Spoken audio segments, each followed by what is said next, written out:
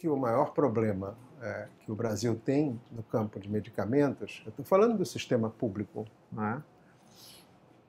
é, ele, ele diz respeito às dificuldades de financiamento do sistema de saúde em geral.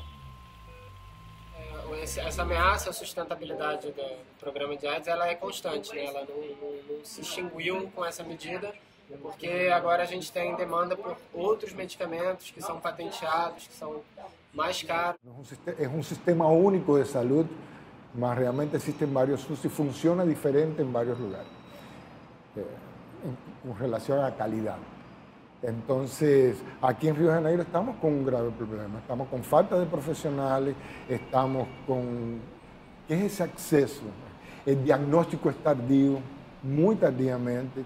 Existe, por ejemplo, en el caso de Río, la mortalidad por SIDA es muy alta, casi duplica eh, la tasa del país. El problema es que a, mediano o largo plazo eso va a dar problemas con relación al VIH-Sida, al SIDA. ¿Por qué? Porque no hay control de la epidemia solo con tomar medicamentos.